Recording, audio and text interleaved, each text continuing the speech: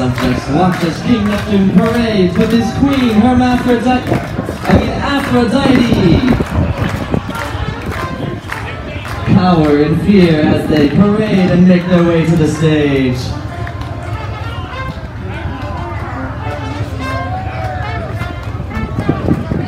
And they've brought along their captives as well.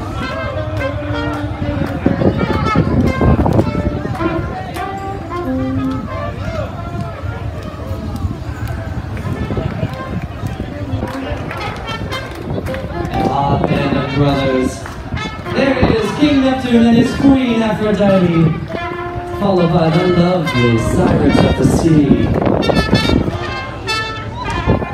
Two beautiful mermaids and one odd-looking mermaid.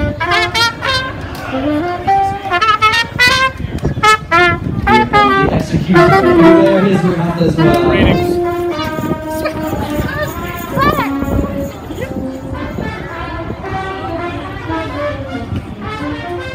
The guards bringing their prisoners, the despicable.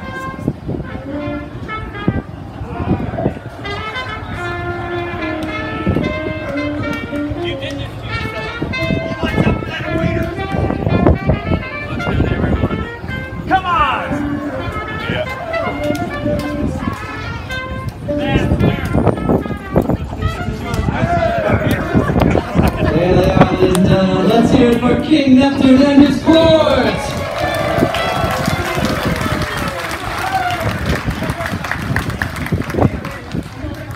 Now hear ye, hear ye, I open this court of King Neptune, and all will promise loyalty to the king. Do you all swear your allegiance?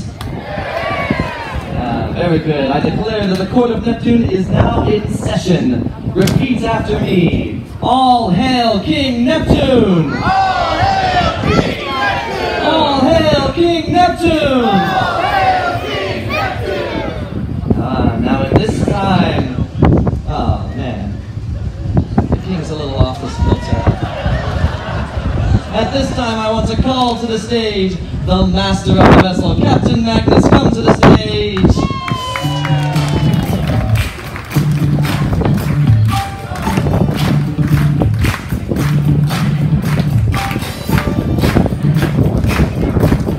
The captain will now present the key to the quest to King Neptune himself.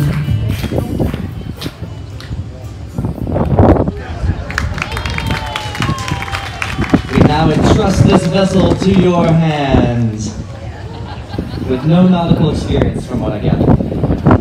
Thank you, Captain, for your compliance and trust. We are here in the crystal waters, somewhere between Madagascar and Sri Lanka. We ask permission to cross the equatorial line. Equatorial line. We begin with the trials of the lowest of the low, the scum of the scurvy, the most despicable, British officers. Guards, bring them forward! They are despicable.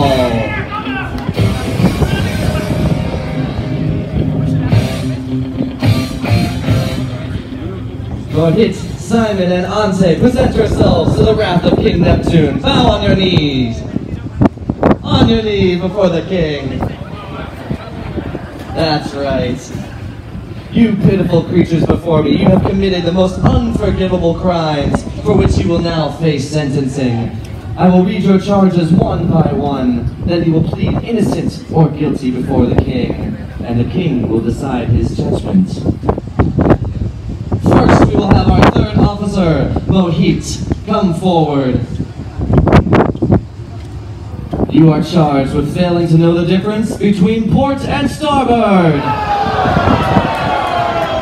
Which side's that? You failed. Too late. How do you plead? He pleads innocence. King Neptune, what say ye? Thumbs up or thumbs down?